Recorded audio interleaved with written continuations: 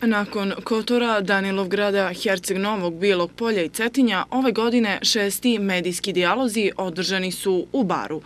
Ovog puta najveće interesovanje pripalo je štampanim medijima, pa je tema ovog skupa bila bazirana na izumiranju štampanih medija, a učesnici skupa iznijeli su svoje stavove.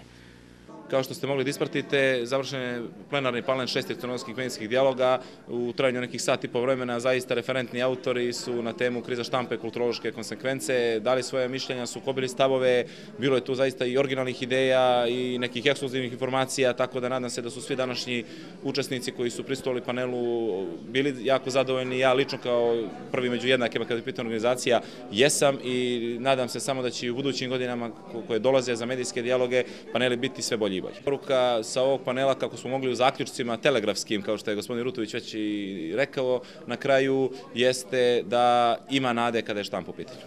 Prema riječima pomoćnika ministra kulture Željka Rutovića, crnogorski medijski dijalozi su jedan od vodećih naučnih skupova u regionu koji se bave teorijom medija. Naučni skup kriza štampe, znači šesti crnogorski medijski dijalozi, prvenstveno se fokusira na premise vrednostnog e, dijela krize štampe, sadržajnog, etičkog, samoregulirajućeg, a u tom kontekstu i same krize smisla civilizacije.